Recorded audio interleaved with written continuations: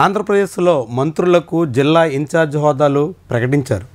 రాష్ట్ర కేబినెట్లో ముఖ్యమంత్రితో కలిపి ఇరవై నాలుగు మంది ఉన్నారు. రాష్ట్రంలో ఇరవై ఆరు జిల్లాలు ఉన్నాయి అయితే ముఖ్యమంత్రి నారా చంద్రబాబుతో పాటుగా ఉప ముఖ్యమంత్రి పవన్ కళ్యాణ్ మరొక మంత్రి నారా లోకేష్. ముగ్గురికి జిల్లాల ఇన్ఛార్జ్ హోదాలు లేవు. వాస్తవానికి పవన్ కళ్యాణ్ నారా లోకేష్ కూడా జిల్లా ఇన్ఛార్జ్ హోదాలు కట్టబెడతారని ముందు భావించారు. అయితే ఉప ముఖ్యమంత్రి కాబట్టి పవన్ కళ్యాణ్ పక్కన పెట్టినప్పటికీ నారా లోకేష్కి జిల్లా ఇన్ఛార్జ్ మంత్రి ఇచ్చే అవకాశం ఉంటుంది. కానీ ఈసారి మాత్రం అలాంటి ప్రకటన రాలేదు ఆయన్ని మినహాయించారు. భవిష్యత్తులో నారా లోకేష్ను కూడా ఉప ముఖ్యమంత్రిగా ప్రకటించే అవకాశం ఉందన్న ప్రచారం సాగుతుంది. దానికి తగ్గట్టుగానే ముఖ్యమంత్రితో పాటు ఇద్దరికి అంటే పవన్ కళ్యాణ్ నారా లోకేష్ ఇద్దరిని జిల్లా ఇన్ఛార్జ్ హోదాల నుంచి పక్కన పెట్టారు. త్వరలోనే నారా లోకేష్ని ఉప ముఖ్యమంత్రి చేయడం కోసం ఇదొక సంకేతమా అన్న చర్చ కూడా మొదలైంది. ఏమైనా ఇప్పుడు జిల్లా ఇన్ఛార్జ్ మంత్రి పదవులు కేటాయించారు. అందులో కొందరికి మంచి జిల్లాలు కీలకమైన జిల్లాలకు అవకాశం దక్కింది. అచ్చెన్నాయుడు లాంటి సీనియర్ మంత్రిని రెండు జిల్లాలకు పేరు కేటాయించినప్పటికీ అవి రెండు చిన్న జిల్లాలుగా అంతా భావిస్తున్నారు. ముఖ్యంగా పార్వతీపురం మన్యం కోనసీమ జిల్లాలు అచ్చెన్నాయుడికి దక్కాయి. నిమ్మల రామనాయుడికి మాత్రం అటు తూర్పుగోదావరి ఇటు కర్నూలు జిల్లా. కీలకమైనటువంటి రెండు జిల్లాలు నిమ్మల రామనాయుడికి కట్టబెట్టారు. ఇక శ్రీకాకుళం జిల్లాకి కొండపల్లి శ్రీనివాస్ విజయనగరం జిల్లాకు చెందినటువంటి మంత్రి అయినా పక్కనే శ్రీకాకుళం జిల్లాకు ఆయన్ని ఇన్ఛార్జిగా నియమించారు. విజయనగరం జిల్లాకి వంగలపూడి అనిత ప్రస్తుతం హోంమంత్రిగా ఉన్నారు. ఆమెకి విజయనగరం జిల్లా కేటాయించారు. ఇక మరొక ముఖ్యమైనటువంటి కీలకమైనటువంటి జిల్లా విశాఖ. విశాఖ ఇన్ఛార్జ్ హోదా ఎవరు కట్టబెడతారని అంతా చర్చలు సాగాయి. ఇప్పుడు అక్కడికి డోలా వీరాంజనేయ స్వామిని ప్రకాశం జిల్లాకు చెందినటువంటి మంత్రిని విశాఖ జిల్లా ఇన్ఛార్జిగా నియమించారు. గతంలో వైఎస్ జగన్ ముఖ్యమంత్రిగా ఉన్నప్పుడు కొంతకాలం కురసాల కన్నబాబు ఆ తర్వాత విడుదల రజని అక్కడ ఇన్ఛార్జ్ మంత్రులుగా పనిచేశారు. ఇప్పుడు ఈ డోలా వీరాంజనేయ స్వామికి విశాఖ జిల్లా దక్కింది. ఇక అనకాపల్లి జిల్లాకి కొల్లు రవీంద్ర కృష్ణా జిల్లాకు చెందినటువంటి ప్రస్తుతం ఆయన ఎక్సైజు మైనింగ్ వంటి కీలక శాఖలు నిర్వహిస్తున్నారు. ఆయనకి అనకాపల్లి జిల్లా ఇన్ఛార్జ్ మంత్రిగా అవకాశం దక్కింది. మరొక అల్లూరు జిల్లా అది మన్యం జిల్లా ఆ పక్కనే ఉన్నటువంటి పార్వతీపురం మన్యం జిల్లాకు చెందినటువంటి గిరిజన సంక్షేమ శాఖ మంత్రి గుమ్మడి సంజారాణికి స్త్రీ శిశు సంక్షేమ శాఖ మంత్రిగా ఉన్నటువంటి గుమ్మడి సంజారాణికి అల్లూరు జిల్లాను కట్టబెట్టారు. ఇక కాకినాడ జిల్లాకి మంత్రి నారాయణ. ఆయన ఒకవైపు అమరావతి వ్యవహారాలతో కీలకంగా ఉంటారు మున్సిపల్ శాఖ మంత్రిగా ఉన్నారు. ఆయనకి కాకినాడ జిల్లా ఇన్ఛార్జ్ మంత్రిగా అవకాశం దక్కింది. ఇక పల్నాడు పశ్చిమ గోదావరి జిల్లాలకి రెండు జిల్లాలకి గొట్టుపాటి రవికుమార్. రెండు కూడా కీలకమైన జిల్లాలు. పల్నాడు నిత్యం రాజకీయంగా ఆసక్తిని రేకెత్తించేటువంటి జిల్లా. పశ్చిమ గోదావరి జిల్లా అత్యంత ప్రధానమైనటువంటి డెల్టా ప్రాంతంలో ఉన్న జిల్లా. రెండు జిల్లాలకి గొట్టుపాటి రవికుమార్కి అవకాశం దక్కింది.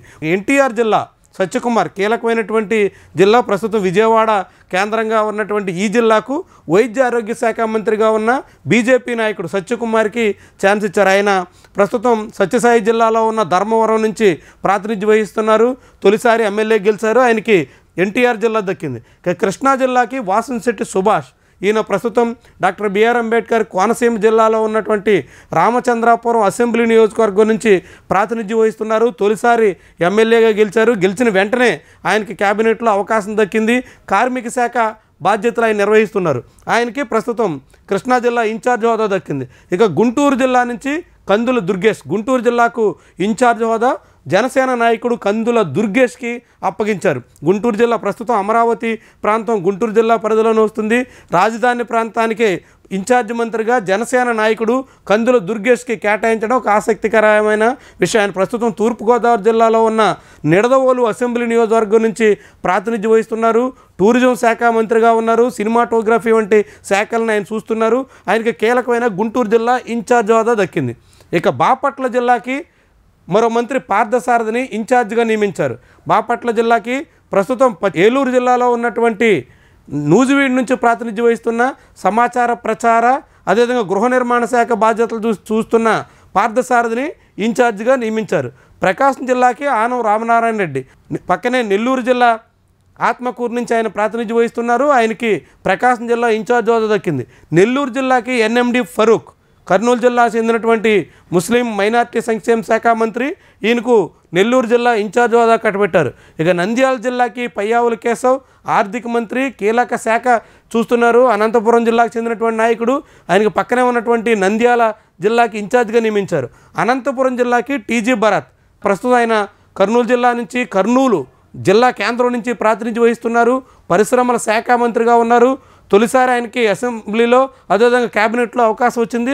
ఆయనకి అనంతపురం వంటి కీలక జిల్లా ఇన్ఛార్జ్ హోదా కట్టబెట్టారు. ఇక శ్రీ సత్యసాయి తిరుపతి రెండు జిల్లాలకు అనగాని సత్యప్రసాద్. అంటే మొదట ముగ్గురు మంత్రులకి రెండో జిల్లాలు వచ్చినాయి అనుకుంటే నాలుగో మంత్రి అనగాని సత్యప్రసాద్కి కూడా రెండు జిల్లాలు అవకాశం వచ్చింది. మొత్తం నలుగురు మంత్రులకి రెండో జిల్లాల్లో అవకాశం వచ్చినట్టు అయింది. అందులో శ్రీ సత్యసాయి తిరుపతి రెండు జిల్లాల్లో అనగాని సత్యప్రసాద్ ప్రస్తుతం ఆయన రెవెన్యూ శాఖ మంత్రిగా ఉన్నారు. కీలక జిల్లాల్లో ఆయనకి ఇన్ఛార్జ్ హోదా దక్కింది. కడప జిల్లాకి సవిత.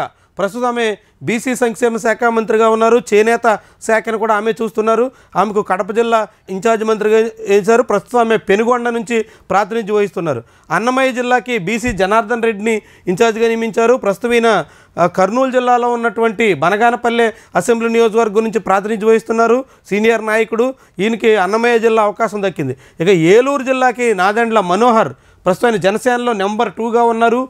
గుంటూరు జిల్లాలో ఉన్న తెనాల నుంచి ప్రాతినిధ్యం వహిస్తున్నారు. పౌర సరఫరాల శాఖ మంత్రిగా ఉన్నారు. ఆయనకి ఏలూరు జిల్లాకి ఇన్ఛార్జ్ హోదా దక్కింది. ఇక చిత్తూరుకి రాంప్రసాద్ రెడ్డి. ఈయన పూర్వపు ఉమ్మడి కడప జిల్లాలో రాయచోటి అసెంబ్లీ నియోజకవర్గం నుంచి ప్రాతినిధ్యం వహిస్తున్నారు. ప్రస్తుతం యువజన సర్వీసుల శాఖ మంత్రిగా ఉన్నారు. స్పోర్ట్స్ మినిస్టర్గా కూడా ఆయనే ఉన్నారు. ఆయనకి చిత్తూరు జిల్లా ఇన్ఛార్జ్ హోదా దక్కింది. మొత్తంగా చూస్తే క్యాబినెట్లో ఉన్నటువంటి ఇరవై ముగ్గురికి అవకాశం వచ్చింది. ఇరవై ముగ్గురులో నలుగురికి రెండేసి జిల్లాల్లో అవకాశం వచ్చింది. రెండు జిల్లాల్లో అవకాశం ఇన్ఛార్జ్ మంత్రుల హోదా దక్కినటువంటి వాళ్ళలో అచ్చెన్నాయుడు నిమ్మల రామనాయుడు అదేవిధంగా గొట్టిపాటి రవికుమార్ అనగాని సత్యప్రసాద్ నలుగురు మంత్రులు ఉన్నారు. ఏవైనా జిల్లాల ఇన్ఛార్జీల కేటాయింపు ప్రక్రియ పూర్తయింది. చాలా కాలంగా ఇది పెండింగ్లో ఉంది.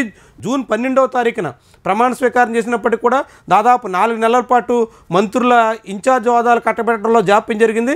ఎట్టగాడకు ఇప్పుడు జిల్లా ఇన్ఛార్జ్ మంత్రులను కూడా కేటాయించడంతో ఆయా జిల్లాల్లో రాజకీయ అభివృద్ధి సంక్షేమ కార్యక్రమాలు మరింత వేగవంతం అవుతాయని ప్రభుత్వ వర్గాలు భావిస్తున్నాయి. వీడియో నచ్చితే లైక్ చేయండి కామెంట్ రాయండి షేర్ చేసి సబ్స్క్రైబ్ కూడా చేయండి. Thank you for watching